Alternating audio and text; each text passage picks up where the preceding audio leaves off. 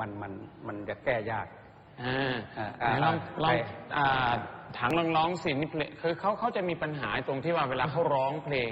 ลูกทุ่งเนี่ยเขาจะรู้สึกว่าเขาจะไม่ค่อยกล้าที่จะเอื้อนนะจริงเขาเป็นคนที่มีเสียงที่ค่อนข้างดีพอสมควรอ่าครับ แต่ว่าเขาเขาไม่ค่อยกล้า เหมือนกับว่าเขาติดอยู่อะไรอยู่บางอย่างหนูกลัวคนใจดีเลยไม่ไม่เอาเอออ่ามันต้องไม่กลัวคนใจดีต้องกล้ากับคนใจดีเพราะคนใจดีพร้อมที่จะเติม เติมเต็มให้เนี่ยลองลองดูฮะไม่ไม่ต้องไม่ต้องไม่ต้องอาย เจอคนดีพี่นี้ ก็พลอยดีใจ แต่เจอแล้วน้องร้องไห้ลองลองอ้าปากให้กว้างนะ เจอคนดีพี่นี้ก็พลอยดีใจใช่ไหมอะอ่าลองเจอ คนดีพี่นี้ก็พลอยดีใจอ่าเป็นไงดีขึ้นไหมดีกว่าเมื่อกี้ไหมอืมอ่าแต่เจอแล้วน้องร้องไห้ หัวใจพี่ปวดร้าว ปวดร้าว เคยเห็นกระจกร้าวไหมอะมันไม่มันปวดร้าว ปวดร้า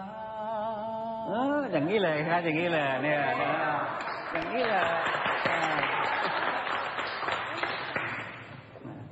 เนี่ย ผมอยากจะยกตัวอย่างให้ฟัง หอมของชินกรกับหอมของพลอยวัน มันเป็นน้ำหอมคนละยี่ห้อกัน พี่ไพวันจะร้องหอมเอ้ยใช่ไหมอ่าแต่ชินกรหอมเอ้ยอ่ามีราคามากไหมมีราคากว่าใช่ไหมฮะ เมื่อกี้พี่ไพวันแกหอมฉุนใช่ไหมฮะหอม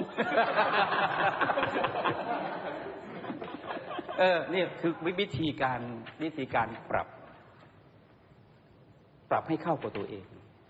อ่าหรือปรับให้เหมือนกับคนอื่นอ่าเขาบอกว่าถ้าใครมีอะไรจดก็จดนะร้องให้สุดคำรำให้สุดแขนอ่า อย่างที่หนูร้องทีแรกไม่สุดคำอ่าไม่สุดคำเหมือนแบบ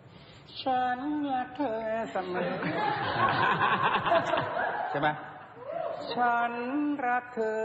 เสมอดวงใจใช่ไหมสุดคำเลยไหมเต็มมันเลย เต็มยศเต็มศักดิ์ของมันเลย เนี่ย ทุกคนต้องทำให้ได้อย่างนี้ แล้วคณะกรรมการเนี่ยเขาเทคะแนนให้เลยครับ ถ้าเราร้องไม่ชัดถ้อยไม่ชัดคำเนี่ยโอ้ยหายเยอะคะแนน